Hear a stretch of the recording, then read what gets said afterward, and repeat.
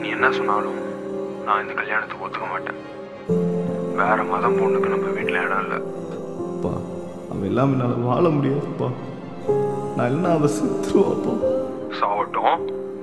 அது என் பிரச்சனை இல்லை. நான் சொல்றத மீறியும் அப்படித்தான் பண்ணுவீனா? கொன்றுவேன். ஒன்னும் இல்லை. வளர்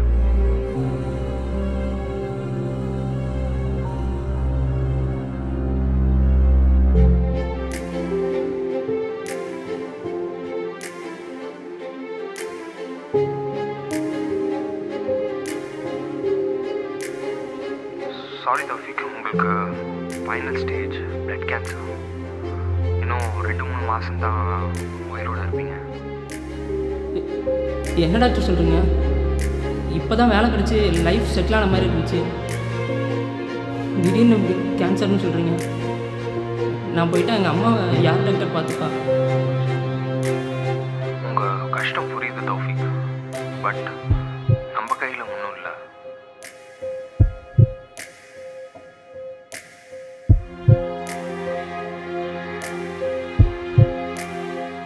விஸ்வா சாரி விஸ்வா இந்த காமெடி ரோலுக்கு உங்களை செலக்ட் பண்ணல. நீங்கள் நெக்ஸ்ட் டைம் ட்ரை பண்ணுங்கள் சார் ப்ளீஸ் சார் இதுக்காக நான் அஞ்சு வருஷம் நாயா பேய கஷ்டப்பட்டுருக்கேன்? சார் இந்த ஒரு தடவை எனக்கு சான்ஸ் கொடுங்க சார் ப்ளீஸ் சார் என்ன பண்ணுறது விஸ்வா இங்கே எல்லாமே பாலிடிக்ஸ் தான். ஆடிஷனில் உங்கள் ஆக்டிங் தான் நல்லா இருந்துச்சு. எங்கள் டேரக்டர் கூட அந்த ரோலை உங்களுக்கு தான் கொடுக்கணும்னு சொன்னார். ஆனால் கடைசி நேரத்தில் ப்ரொடியூசர் வந்து அந்த சான்ஸை அவர் பையனுக்கு வாங்கி கொடுத்துட்டாரு. Shit happens Vishwa better luck next time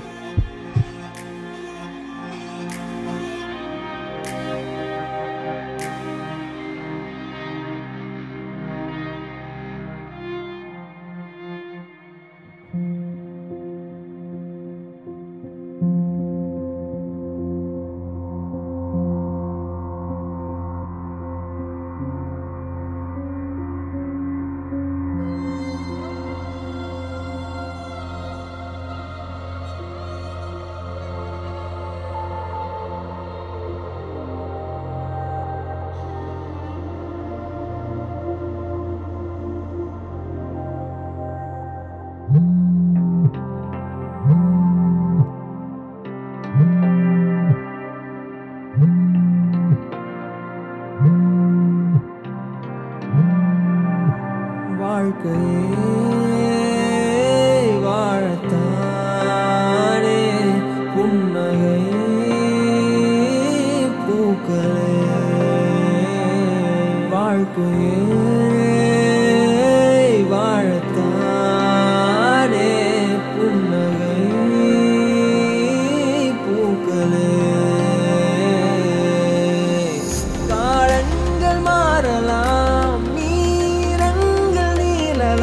கடலுப்பை போல் நீயும் கண்ணீராய் கரைந்தாயே.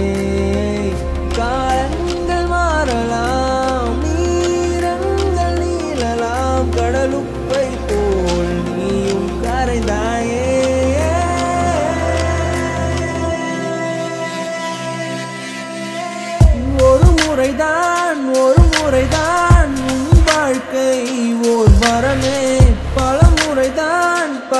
பல முறைதான்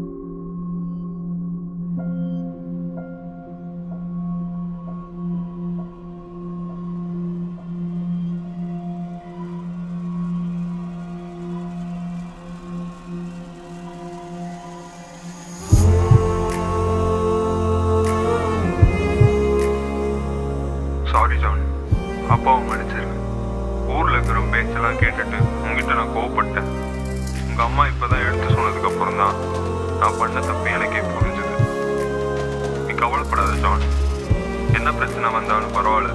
நீ அந்த பொண்ணை தான் கல்யாணம் பண்ற. நாளைக்கே அந்த பொண்ணு வீட்டுக்கு போய் பேசலாம். நீ ஒன்றும் கவலைப்படாத ஜான்.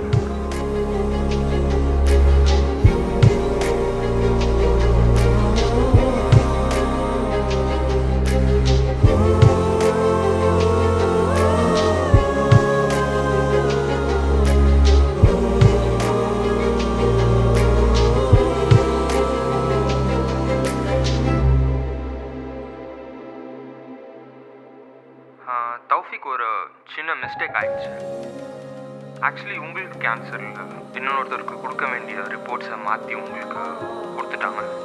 அதனால தான் இவ்வளோ confusions yo perfectly alright topic நீங்கள் எதுவும் பயப்பட வேணாம். I am really sorry for this mistake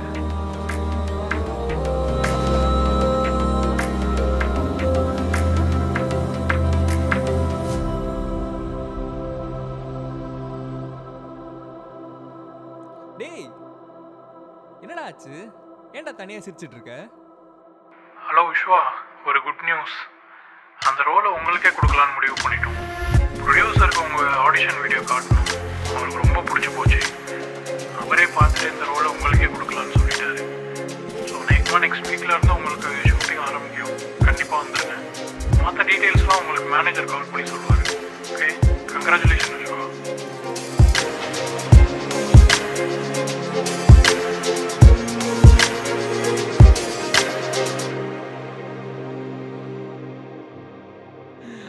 哈 哈